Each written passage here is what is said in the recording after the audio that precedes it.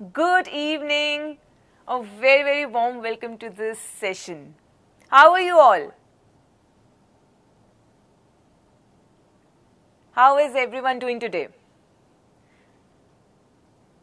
Great. So, yes, this is our first session together. You're done with the bio chapter, and now it's time to master another chapter. Yes?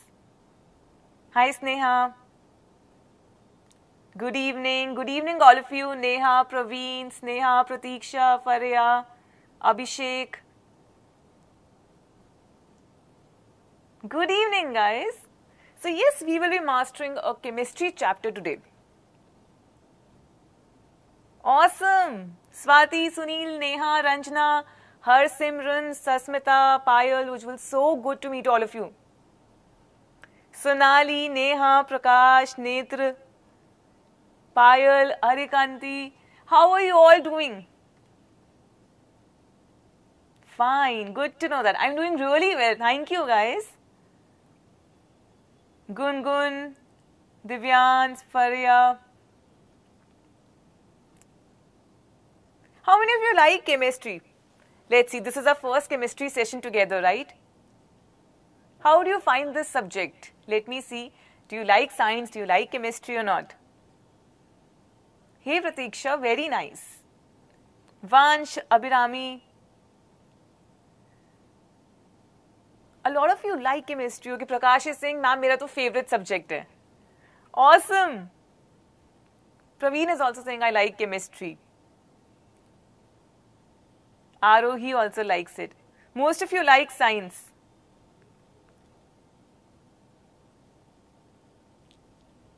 Great. Good to see so many thumbs up in the comment section that you all like chemistry. High five actually. Really well, really well. I see a lot of you have joined in.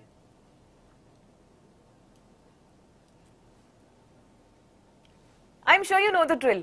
फटाफट से बता दो if you can hear me properly, see me properly, if the PPT is working fine. I'll probably need a little help from the studio moderator. I think some double voice is coming if that can be fixed. Let's fix this double noise that's coming. Meanwhile, you all can let me know if I'm perfectly audible and visible or not.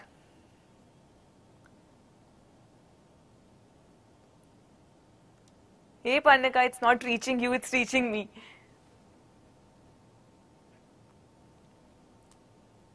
Perfectly clear, audible. Alright, there is some double noise in the studio. Can that be fixed, please?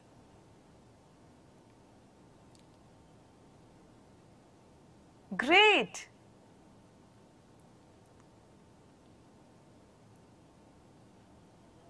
Good to know that.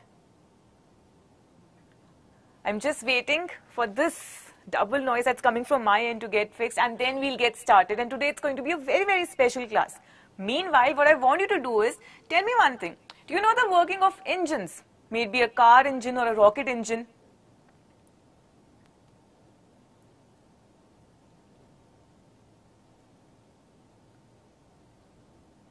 I see a lot of you write, are writing, yes ma'am, we know about this. So what's the working?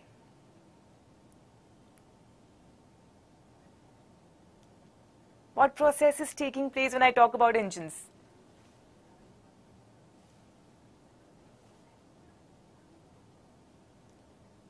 Let's see if you can figure this out. I think somewhere the hint is there on the screen itself. Ayush says combustion. Yes, absolutely right.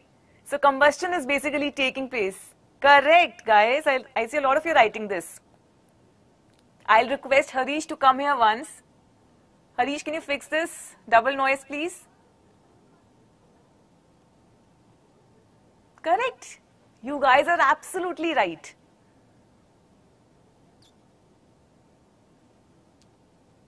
Yes. I can see that. You know it. Correct, correct. Yes.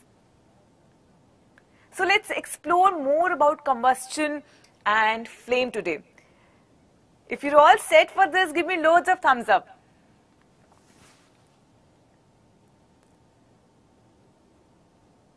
Loads and loads of thumbs up that yes, we are all set to get started. To master this chapter in one go. Complete chapter. Harish, can you help me with this, please?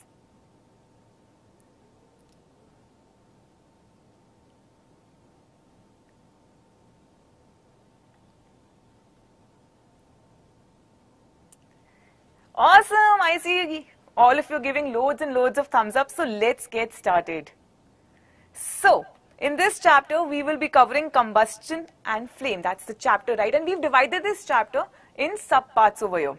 Yes? So, we'll be talking about combustion, flame and fuel. We'll be talking about all these three. Right? Now, we'll be beginning with combustion. Let's understand what exactly is combustion. So, let's get started. Can we fix the noise? Yeah. All right, let's get started with combustion. So, it's basically a chemical process in which a substance is reacting with oxygen, right? And it's giving off a lot of heat and light and this process is known as combustion. Really simple, right? We keep hearing this reaction but now let's understand what is basically happening over here. So, it's a process in which it's a chemical process in which there's a substance, this substance is reacting with oxygen and a lot of heat and light are being produced. So, when we talk about combustion, there is so much more to explore about this. We'll be talking about combustible and non-combustible substances. We'll be talking about conditions required for combustion, types of combustion, and of course, how can we control the process? How can we stop combustion? So let's get started with the first one that is combustible and non-combustible substances. Again, the name is self-explanatory over here. The substances which can undergo combustion are basically combustible substances. For example, you've got matchsticks, paper, coal, petrol, all these are substances which are combustible. They can catch fire. What else can catch fire easily? Let's see. Hydrogen. Prakash is saying oil. Yes, kerosene oil. Some fabrics. Correct. Yes, they can also catch fire really easily. Now, let me tell you one really interesting fact. There are more than 140 combustible substances. So, I've named few substances over here. I've named, say, four are written over here, four we discussed verbally. Just imagine there are more than 140 combustible substances. Think about this. How many of them are you aware of? Yes, absolutely. Find out, find out more substances.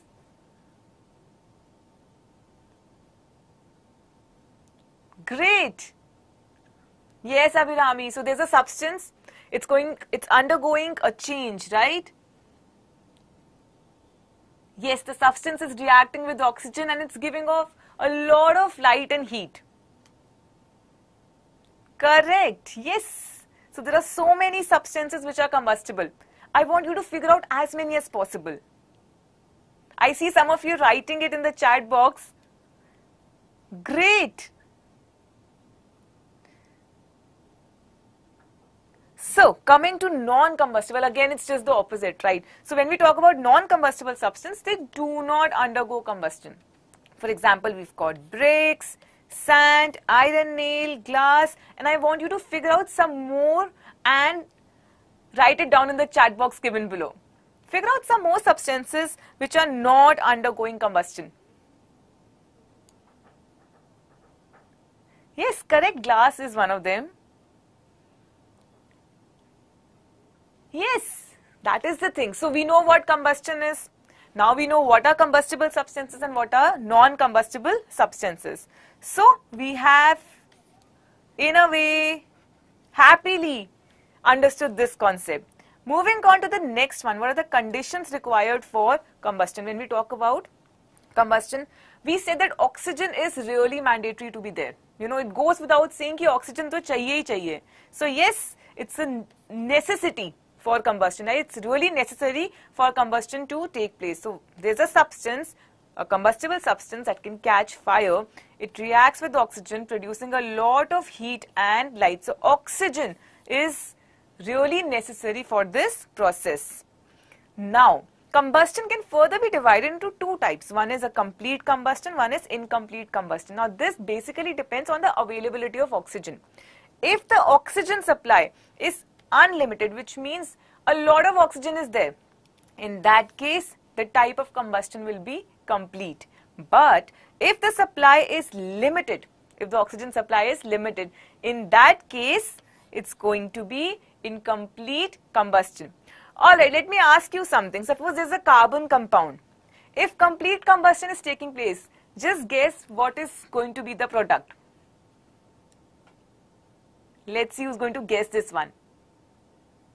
Since it's our first live session together, you people have to make it lively. So keep interacting with me. Keep posting your answers in the comment section. Rujul says carbon dioxide. Pratiksha is also saying the same. Correct, guys. Absolutely right. Alright, so if there's a carbon compound, in the presence of unlimited oxygen, carbon dioxide is being produced. What will happen in case of incomplete combustion? Then what is going to be produced? Yes, all of you are right. Gungun, Harshita, Sonali, Sneha. Correct. Arohi. What's going to happen in case of incomplete combustion? what is going to be formed? If carbon dioxide is being formed here, dash will be formed here. Let's see. Pratiksha is the first one to answer. Well done. It's carbon monoxide. So yes, availability of oxygen also decides what products would be formed. Now there is another important term that you need to understand that is ignition temperature. I again have a question for you. Suppose you have a single matchstick right? And I give you two substances, one is a paper and one is a log of wood. With one single matchstick, can you burn a paper? A quick yes or no in the comment section. Can you burn a paper with a single matchstick?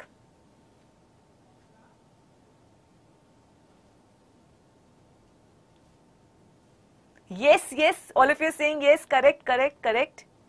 Alright, now I have a single matchstick with me and now I have to burn a log of wood. Can I do that? What about a log of wood? A quick yes or no in the comment section. No, correct. And this is the concept of ignition temperature. So every substance, for every substance, it's going to be different, right? Ignition temperature basically is the lowest temperature at which a substance catches fire. For paper, it's 233 degrees Celsius, wood 310 degrees Celsius, petrol 220 degrees Celsius, candle wax 300 degrees Celsius. Which means that if the temperature is say about 250 degrees Celsius, it is above the ignition temperature of paper. That means the paper can catch fire very easily as compared to wood. Yes?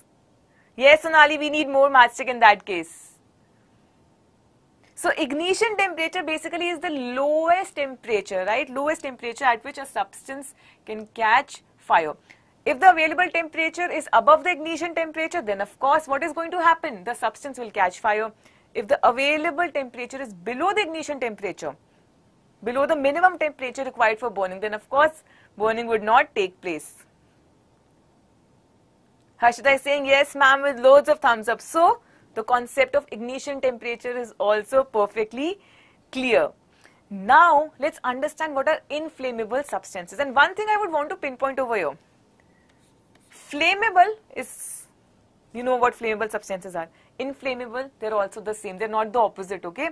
Substances which have very low ignition temperature, they are basically inflammable substances and they can catch fire very, very easily with a flame. For example, you've got petrol, LPG. What's the full form of LPG, guys? What is LPG? Quickly tell me. And of course, we've got hydrogen. I hope you all know the full form of LPG. Let's see who's going to answer it first. I know you all know, but I want to see who's going to answer this one first. Ujjwal is the first one to answer. Liquid petroleum gas. And then I have Sneha mentioning it. Agash, Rujul, Pratiksha, Harsimran, Parnika. Prakash, Sonali, Amir, all of you saying. Great. So, these, the list is given to you, right? Inflammable substances. They have very, very low ignition temperature, right? Because of which they can catch fire very easily.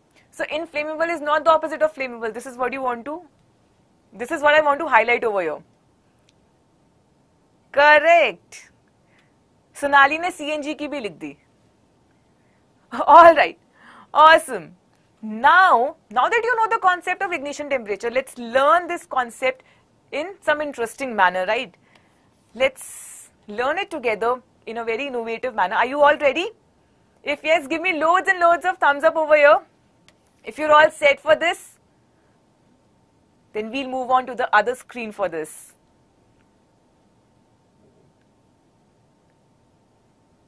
Let's see who all are basically ready for this.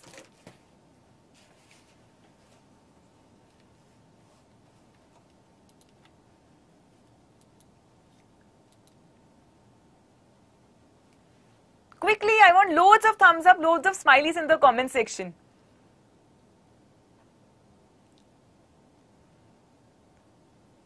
So if you will write start in the chat box, that's when I will click on the start button. So quickly write start in the comment section. We'll talk about water as well, don't worry. Ujjwal ne to likh diya start and then I see a lot of you writing about start. That means we all are set. Now here you have to keep interacting with me because whatever you will tell me to do is what I'm going to do over here. Great, awesome. So let's get started. Tap on the options What and do we see observe over here? the temperature at which We the see following that materials catch fire. You are given four substances, right? And it's phosphorus, cotton, wood, and coal. Let's check something about them. Let's check at what temperature they can catch fire. What do you want to check first? What do you want to check first? Is it phosphorus, cotton, wood, coal? सबसे पहले किसे check करें? So I'll tap on the option and then we'll observe the temperature at which that particular substance can catch fire. I see, okay, I'll go with the majority of vote, okay. I see a lot of you voting for coal, so let's get started with coal. Let's check for coal. What do you think? Is the temperature going to be high or low? High, correct guys, correct. So, coal has a very high ignition temperature of 500 degrees Celsius. If the temperature, ignition temperature is so high, obviously it will not catch fire very, very easily. Isn't it? Correct. Grisha is saying order se chalte hain. So now we know for coal the temperature is very high. The minimum temperature that is required for coal to burn is extremely high. And now we can actually understand why coal is not burning so easily. Yes? Alright, I think coal was not visible here. It's right here. Now is it visible? Great. So yes, coal was there. Let's see what's the next one now. I'm hiding coal. We are done with it. Wood, cotton, phosphorus. What's the next one that you want to check? I'll go with the majority. Let's see. A tough competition between cotton and phosphorus. Cotton. All right. So let's check cotton now. What do you think? Is it going to be high or low? Low. Okay. Let's see how low then. There you go, 120 degrees Celsius. So since cotton has a low ignition temperature, 120 degrees Celsius is easily achievable, right? That's the reason it can catch fire easily. Coal had such a high temperature, cotton is not having that high temperature, right? Correct. So the next one, let's check out. I see a lot of you writing about wood also. So there you go. Let's check for wood. What is your guess in case of wood? High, low, what do you think it's going to be? Mix, okay, high, high, mix. Ayush says high, Prakash says low. Alright, for wood it's 310 degrees Celsius. So since wood is also having very high ignition temperature, again it's not going to catch fire very easily. And of course your favorite phosphorus now. I see a lot of you writing ma'am phosphorus का बहुत जल्दी आ जाएगा and you people are right.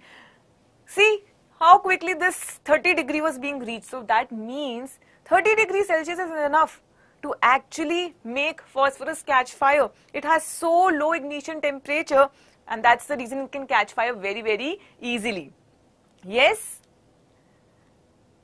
Correct. Absolutely right. Very low. Now that you know the concept of ignition temperature, there's a question for you. You will tell me what to mark. The question says ignition temperatures of fuels A, B, C and D are 44 degrees Celsius, 53 degrees Celsius, 64 degrees Celsius and 88 degrees Celsius respectively. Which fuel or fuels will burn if temperature is increased to 60 degrees Celsius? And guys, more than one option can be correct. Just have a look over here. They are saying more than one option can be correct. Gungun ने पहले answer दे दिया है Pixel Guy, Praveen, Akshat, Parnika, all of you are saying ma'am fuel A and B. Should I mark that? Lock kar de? Quickly tell me, if you're very confident about this, let's lock these two fuels then. Fuel A, fuel B. All right, I see all of you are voting for fuel A and fuel B. Let's log and submit our answer. Give me a thumbs up if you're confident about this one. प्रकाश ने बहुत सारे Thums up दे दिए तो प्रकाश की बात मान के हम सबमिट करते हैं। Let's see yes well done guys you people are absolutely right so basically as you can see over we know what ignition temperature it's the lowest temperature at which a substance can catch fire right sixty degrees जो temperature है let's go back to the option first sixty degrees is more than forty degree Celsius yes sixty degrees is more than sixty sixty uh, 53 degrees Celsius, it's less than 64, it's less than 88, right? So A and B के value से ज़्यादा है. 60 degrees is obviously more than the ignition temperature of A and B. That is 44 degree and 53 degree respectively. Yeah, just like that, Kavyansh. So yes, clearly 60 degrees at if the temperature is 60 degrees, then of course fuel A and B will start burning. In case of C and D, the value is more than 60, then of course it's not happening in that case. Correct. Yes, yes. Absolutely right. Yes, Pixel Guy, you're correct. Let's go back to the main screen now. Now we've understood the ignition temperature. Let's switch back and continue with this. All right.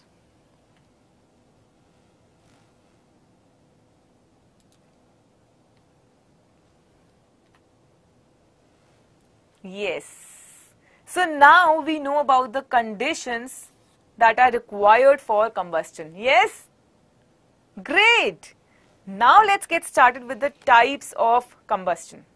Types से start करते हैं. So we have rapid combustion, spontaneous combustion and explosion. Rapid combustion, I think these names are very self-explanatory. Fuels which can burn rapidly, producing a lot of heat and light. The point to be noted over here is when ignited by an external source. That means in case of a matchstick or a you know LPG burner, what happens? We need an external source. We need some external help. But once this help is there, they burn rapidly. Such type of combustion is your rapid combustion. Now coming to spontaneous one. Well, in case of spontaneous also, the fire can be caught very easily, immediately, right? But without any external source. Just in case of phosphorus or coal dust mines, coal dust in mines. Yes? Great. Yes, absolutely right. So in case of rapid, you need external source. In case of spontaneous combustion, no external source is required. Yes, you will definitely get the PDF of this. Don't worry. Now coming to explosion, I think explosion is everyone's favorite. We've seen fireworks, right? Maybe like on New Year's, on a lot of occasions we see this. Fireworks is an example of an explosion. So what is happening in this case? There's a sudden reaction and there is evolution of heat, light and sound along with a large amount of gas. Correct. Yes, that is explosion. Okay, you people are mentioning when all you've seen that. Great. Awesome. Good to know that, guys. Bilkul sahi. That is going to be an explosion. Now coming to the fourth very important topic. Now we know that, you know, fuel, oxygen, heat, all these are basically required for combustion to take place. Now, if we have to stop combustion, in a way we can remove any one of these, right? Stop the supply of say the fuel or oxygen or heat, control heat. In that case what will happen? We can actually control combustion. We can actually stop combustion. Yes? So let's understand all of this one by one. Let's start with fuel. Now over here, very basic example, something that you do like on a daily basis, I'm sure you notice this all around you. When the gas stove is switched off, what happens? It cuts the supply of the fuel. Now, when the supply of the fuel is not there, obviously you can control combustion. Yes, how many of you have noticed this? This is, I think, chemistry is very much linked to our day-to-day -day life. Daily basis पे हम ये note करते हैं. I see a lot of you write, yes ma'am, we've seen this. This is like very basic. Good. All right, moving to oxygen now. Again, something that you are already aware of. When you see that there is a fire, what happens? We usually wrap a blanket around the person, right? Why? So that we can cut the supply of oxygen. Now we know that we do this. Now we know why we do this. Great. Yes, because we remember, we all remember, I'm sure that oxygen is very necessary for combustion, right? So if we can, we can actually cut the supply of oxygen, then of course we can control combustion. So, wrap a blanket, you'll be able to stop the supply of oxygen. What else can be done? Have you noticed this? And this I'm sure is there in your schools as well.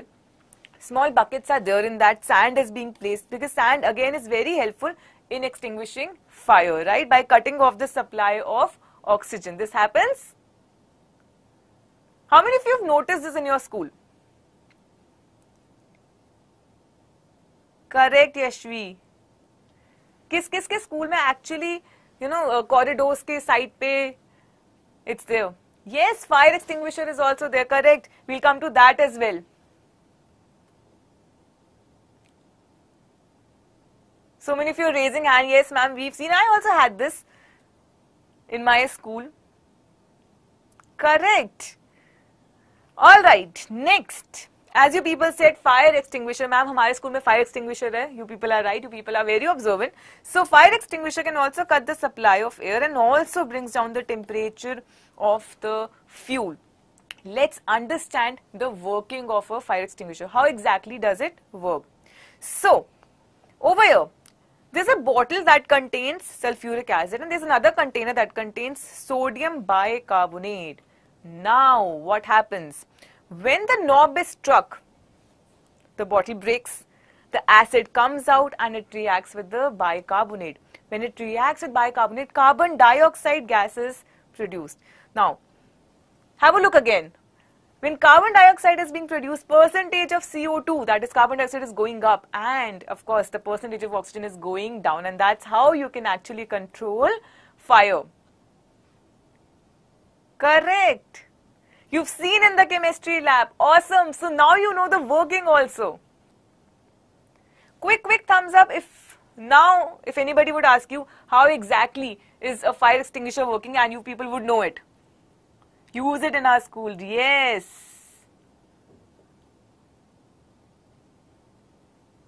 Good. Awesome, guys.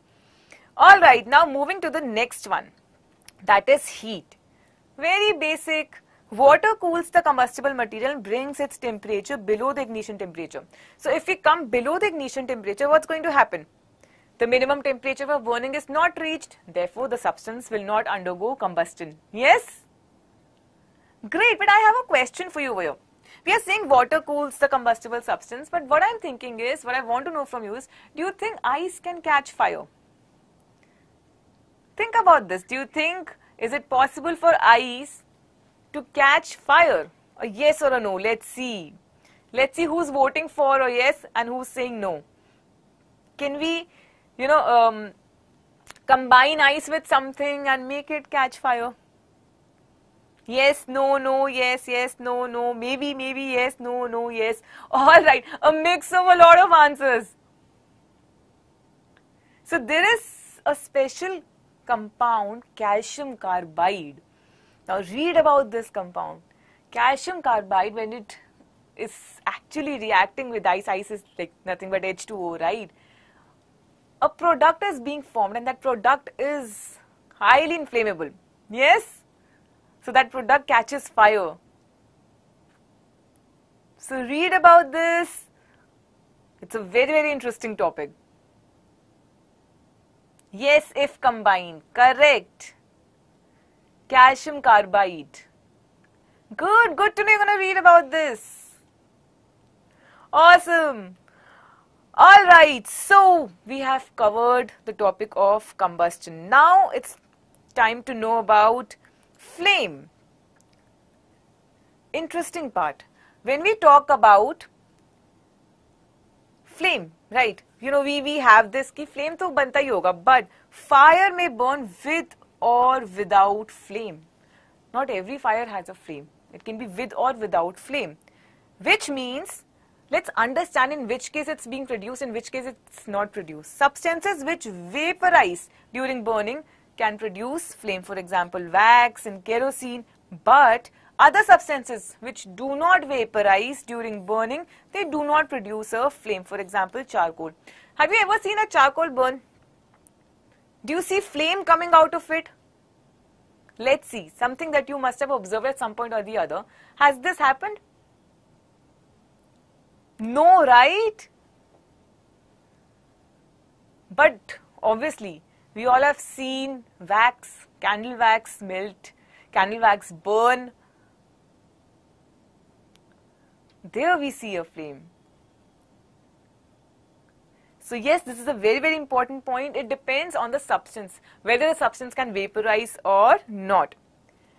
Now, let's move on and understand the structure of a flame. So we've got an activity time.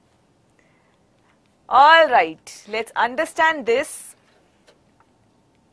Let's actually observe a candle and let's understand this activity.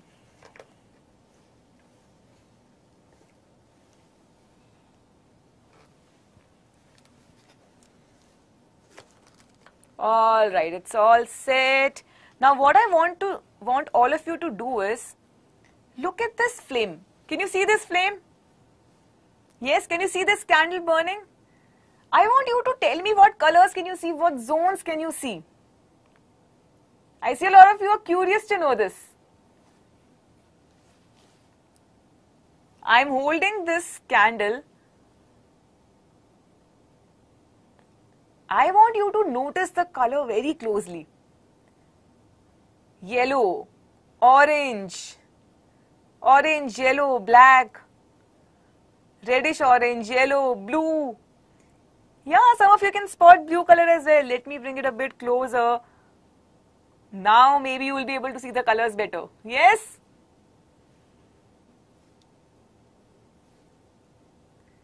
Great!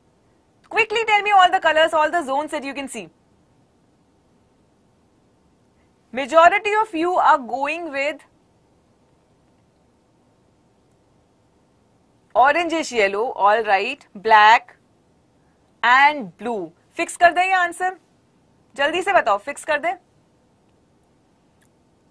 Give me a thumbs up if you are ready yes ma'am let's fix this great all right so these are the various zones we never actually you know so carefully notice a candle एवो now looking at this candle you know seems like there are so many zones to this let's blow this off and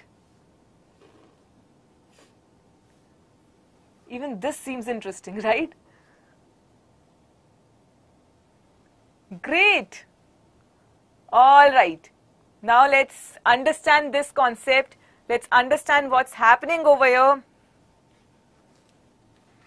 Now that you've told me about the structure, you noticed this candle, right? You saw this candle was very much there with different zones. So, there are three main zones. Let's understand the structure of a candle now. When we talk about a candle, you would have noticed that innermost zone was dark. It was like blackish in color, right? Here, what is there? Unburned carbon is there and it's the least hot zone. Temperature is not so much over here, right? Next we have is the middle zone, right? Now this middle zone is luminous in nature. It's a luminous zone. Here, partial combustion takes place, right? Since partial combustion is taking place, obviously it is moderately hot. So you know the color, it's yellowish orange, luminous zone, middle zone where partial combustion is taking place. Temperature is more than inner zone over here. Now, how many of you could actually see the next zone? That was the outermost zone which is non-luminous, which was blue in color. Here complete combustion takes place. Since complete combustion is taking place, obviously it is the hottest zone and temperature here is going to be the maximum. Yes, I see a lot of you writing, yes ma'am, we saw that.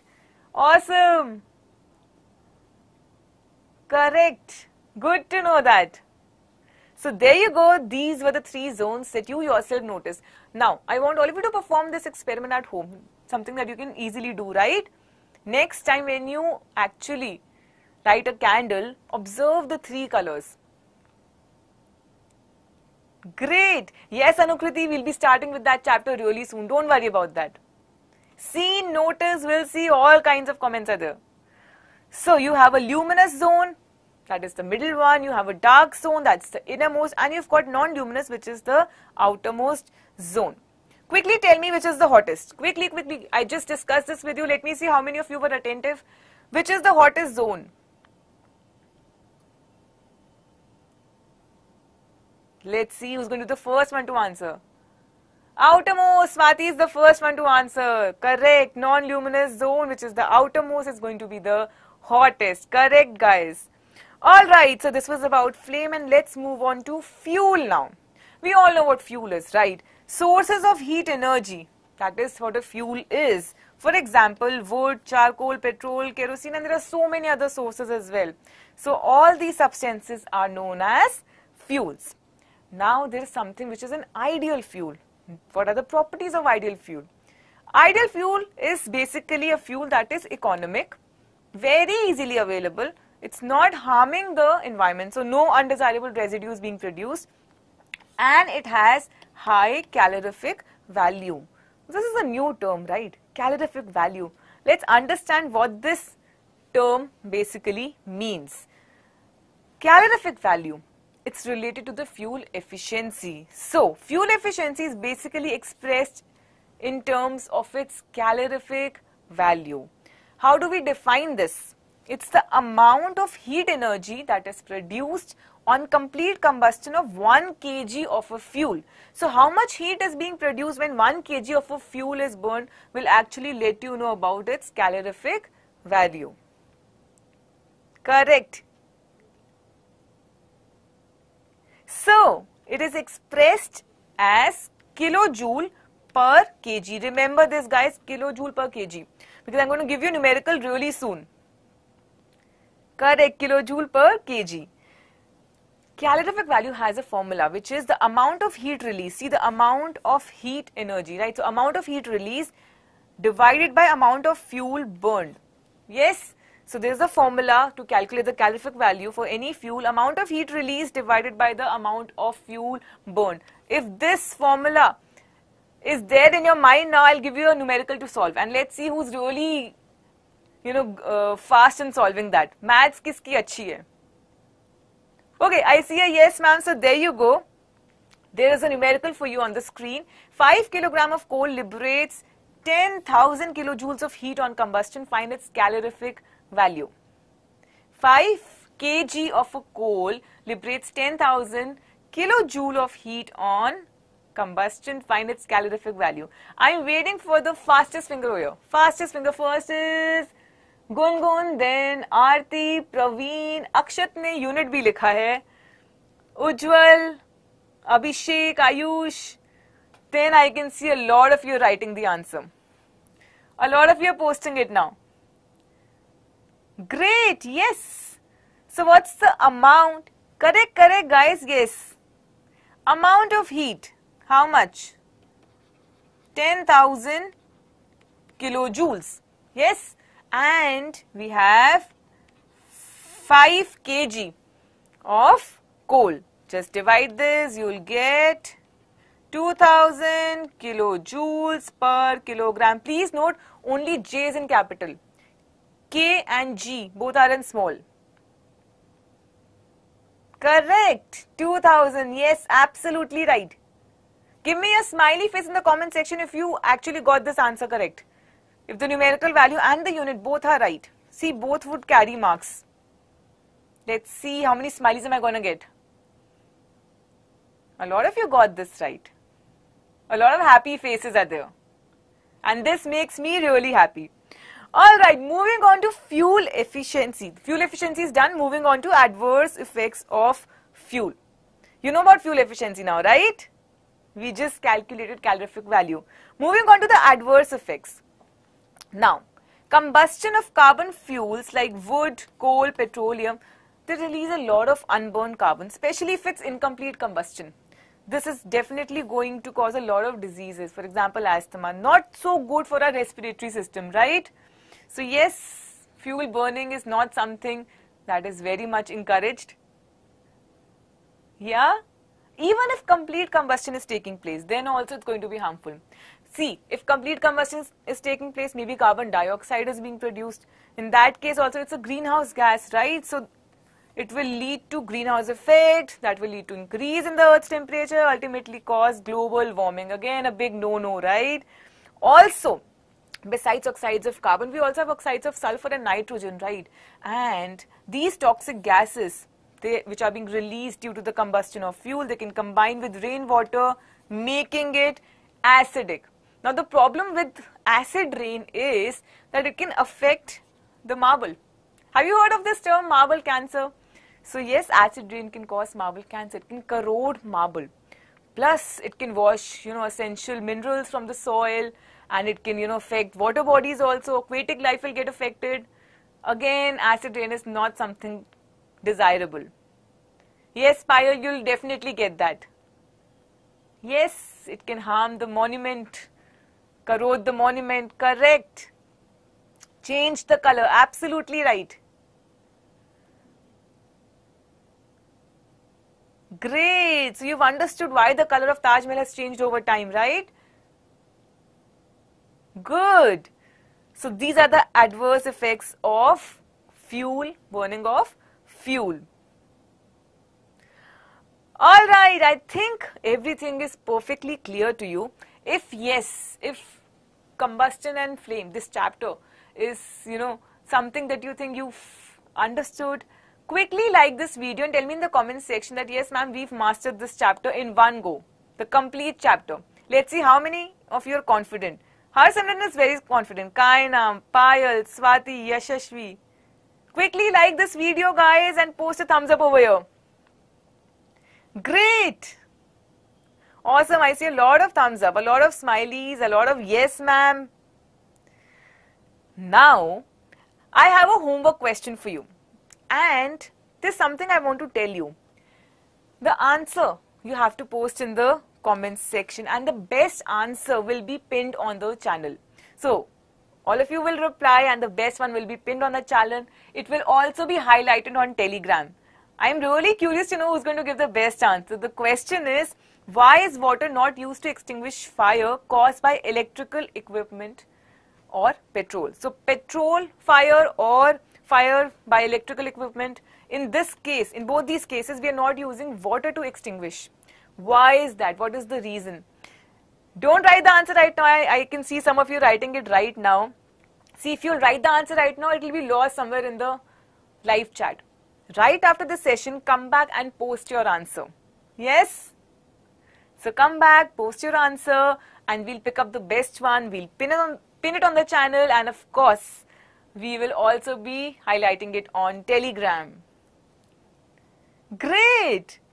which of course brings us to the end of today's session and yes we've got you covered guys we'll keep coming up with amazing sessions for you people now talking of upcoming session i see a lot of you posting thumbs up that yes ma'am we have mastered this chapter so if you really think you've mastered this chapter we have a menti quiz coming up for you tomorrow that is 19th may at 6 p.m so we have a Menti quiz on combustion and flame tomorrow. And tell your friends about it. Let's all be there and let's learn and master this chapter together. Let's practice and You know, be very confident about this one. I can see people are already excited for Menti quiz. Great. Awesome. And of course, don't forget to like this video, subscribe to our channel and hit the bell icon. See, all your doubts, all your concerns will be solved with real life examples. You'll be able to relate chemistry to your day to day life. So you'll organically understand all the concepts. So yes, subscribe to our channel and hit this bell icon so that you do not miss any notification from our end. Yes, Payal, notes of the chapter will be shared. Menti quiz will be tomorrow, yes. Awesome. So yes, chemistry is all around you. It's not just limited to your textbooks, your science textbook. It's very much all around you. All you need to do is know where to look and how to look. I keep telling you, keep observing chemistry, keep exploring the magic of chemistry. Take care guys, I'll see you in the next session.